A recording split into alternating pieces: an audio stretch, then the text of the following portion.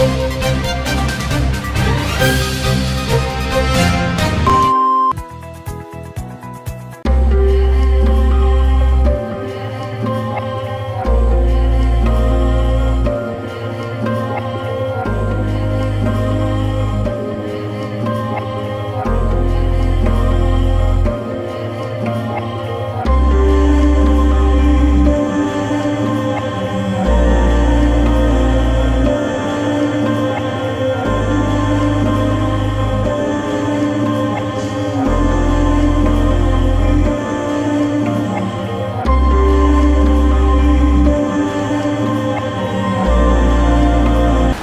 Değerli Edremitliler, 24 Ocak sadece bir gazetecinin ölümü değildir.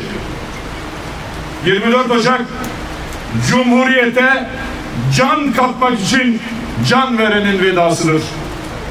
24 Ocak ülkenin çocuklarının geleceği için çocuklarından vazgeçenin koparılmasıdır.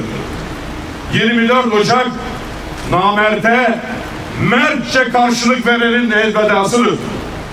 Bugün onu özlemle hatırlıyorsak bunun sebebi mücadelesi ve haklılığıdır. 24 Ocak. Türkiye bundan tam 28 yıl önce vahşice işlenen bir cinayet uyandı.